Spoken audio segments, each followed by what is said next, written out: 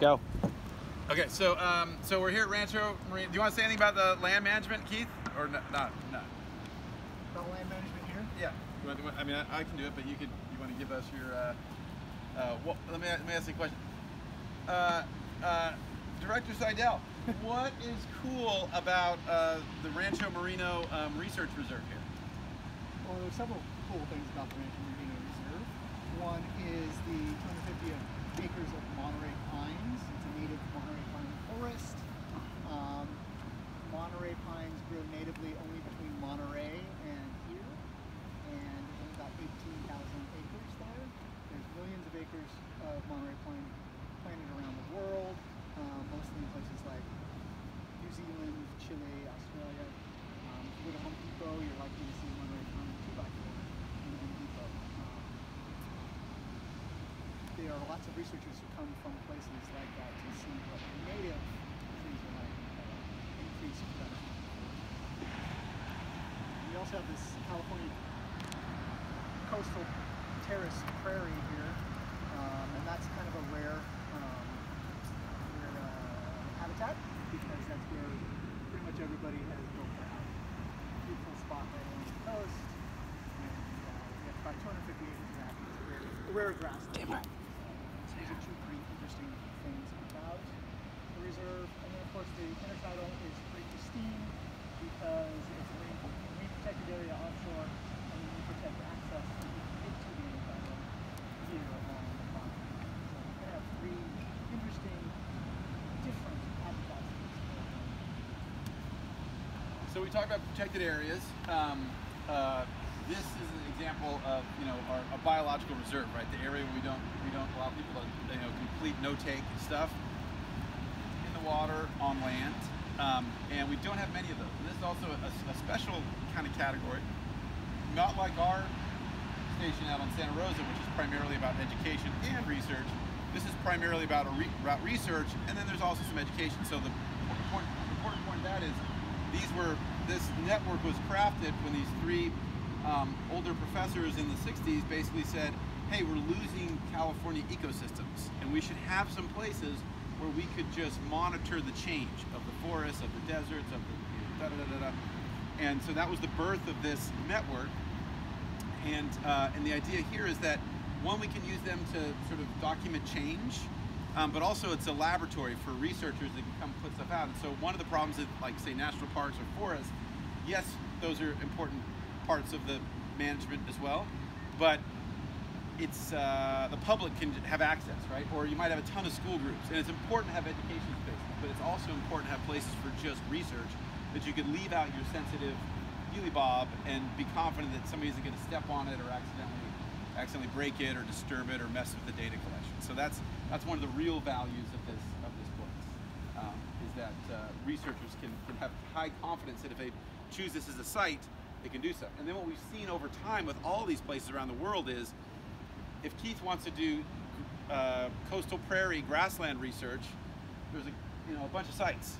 But if somebody's doing bat research here and insect research here, and somebody has trapping data of the vole community here, it's like, well, maybe I should pick that spot because then if I find something interesting, I can I have some context. So then then Keith will do his stuff here, and then then the next person comes down, they're like, oh my gosh, there's grassland in it, and so it sort of builds momentum, right? We sort of create a an intellectual memory of the site, even if it's not super long, at least it, it gives us, it's better than some random site that we don't know what's going on. So there's all kinds of added value that by the very nature of having this protected area, it, it sort of builds on itself.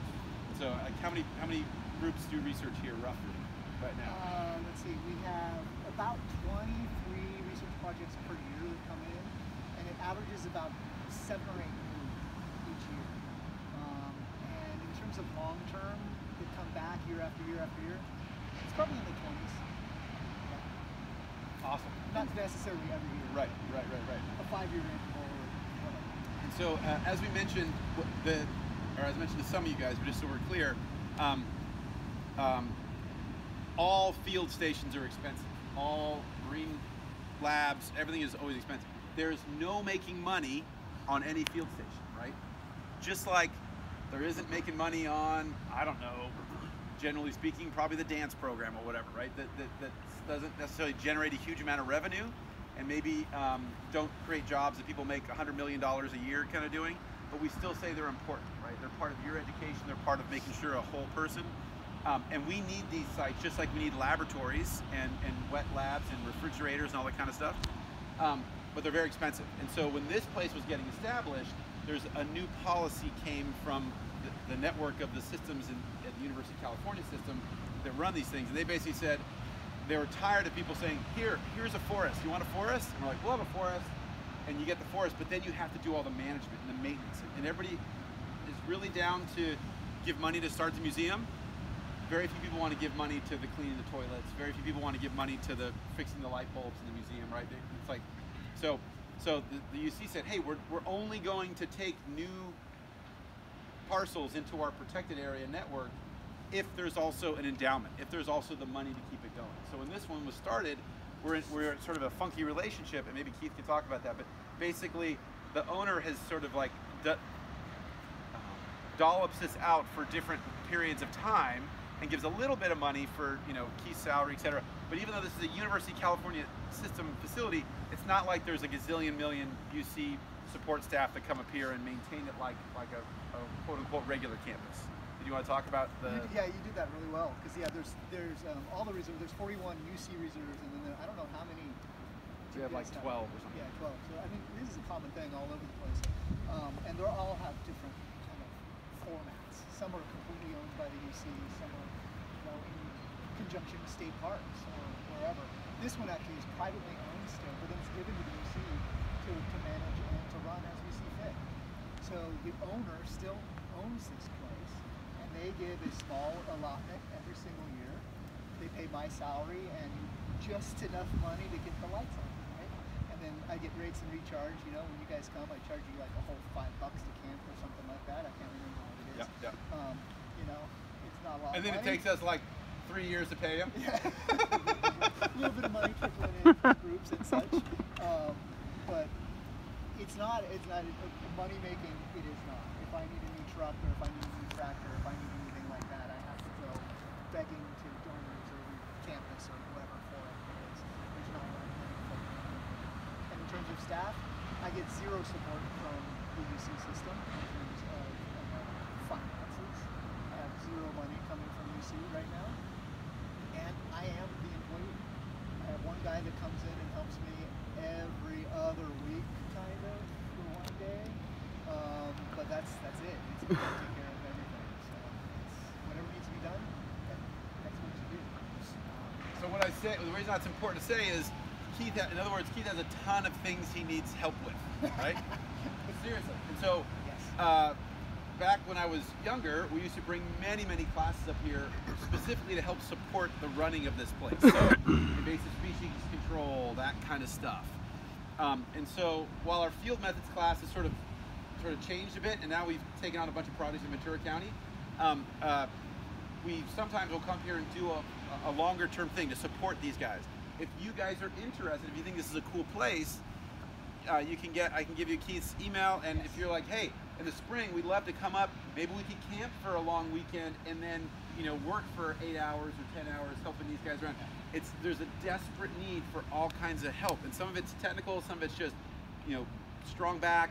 Um, it's these places do not have support, and so it's a great way to give back and you know get to another camp another couple days. But but it's a wonderful place but it needs a lot of all these places need a lot of help and support and it, it is from the outside it looks like oh everything's taken care of or everything's running smoothly and, and we're always close to the bone with these facilities Yeah, and, that's absolutely true. I, I usually give that talk to pretty much every class that comes through. If you guys want to come back up here, you know, shoot me an email, come and camp for the weekend, give me, you know, some, some hours of work and explore the reserve and stuff. And we can back up on that. That's absolutely. I have so much that I don't do that needs to be done.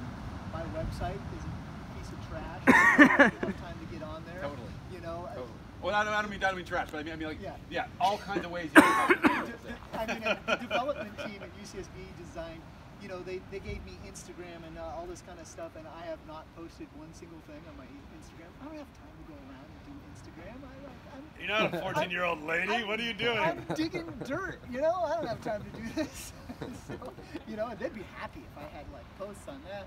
Uh, last night my uh, internet went out. I have to go pretend I'm an IT person and see if I can figure out how to get my router to kick back on. And you know, it's just it's constant. It's, it's everything under the sun from IT and computer to you know get that pile of you know Move chips that is in the wrong place, and I got to move it down to the other part of the property. It's you know it is everything all the time. So invasive control. I want to pull all this ice plant. It's still sitting there. I mean, there's so much to do. So if you guys want to do something, Awesome. All right, cool. Let's go for a little walk. You guys, oh, sorry, unless you guys have questions. yeah. My email, my phone number is on one of those sheets in there. Okay. Text me or And, and I can give it to you too. I Cool. give it to you. text me or email me if you if you want to want to chat. All right, so uh, uh, Jake, close that door.